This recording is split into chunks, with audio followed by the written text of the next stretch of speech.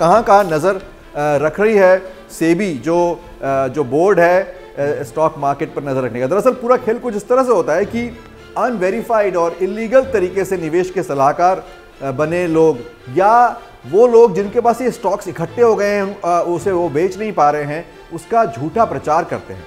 और उसके बाद आपसे कहते हैं कि उस पर आप निवेश करें क्योंकि इसमें कुछ चमत्कार होने वाला जैसा धीरेन्द्र ने अभी बताया।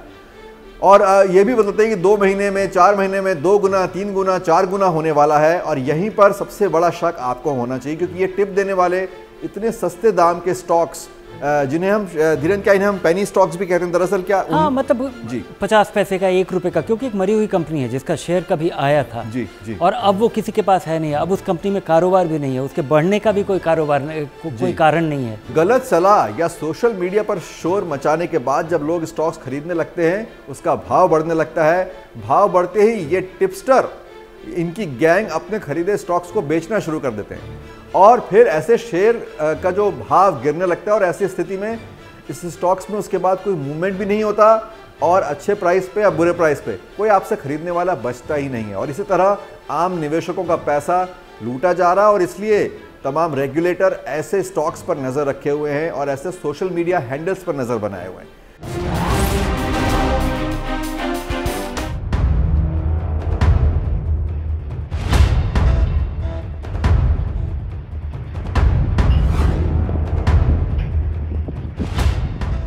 पास कॉल आया था कि हम आपको सलाह देंगे जिससे आप प्रतिदिन चार से पाँच हज़ार रुपये, कभी दस हज़ार रुपये कमा सकते हैं।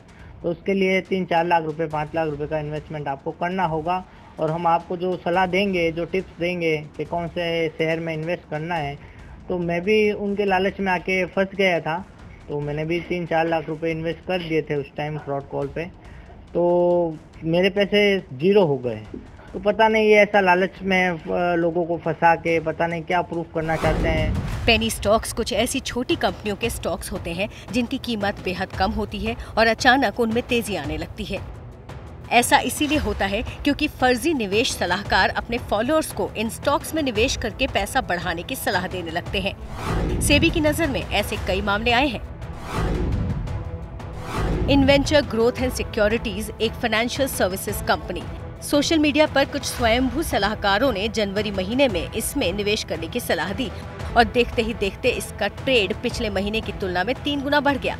लेकिन अगले ही महीने, यानी फरवरी में, पूरा वॉल्यूम आधे से भी कम हो गया। लासा सुपर जेनेरिक्स, एपीआई बनाने वाली कंपनी। दिसंबर 2021 में इस कंपनी में निवेश करने की सलाह सोशल मीडिया पर दी गई। जनवरी महीने में इसका ट्रेड तीन गुना हो गया। लेकिन अगले ही महीने, फरवरी में इसका पूरा वॉल्यूम आधा हो गया। हमने तो आपको ये दो उदाहरण दिखाए हैं, लेकिन सेबी की नज़र में ऐसे सैकड़ों मामले आ चुके हैं। और सेबी ने इसे रोकने के लिए कुछ बेहद अहम कदम उठाए हैं। सेबी का बुलडोजर, फर्जी निवेशकों का सर्च एंड सीजर प्रेस के ज़रिए लोगों में जागरूकता, डेटा लीक के ज़रिए धोखेबाजों पर नज़र।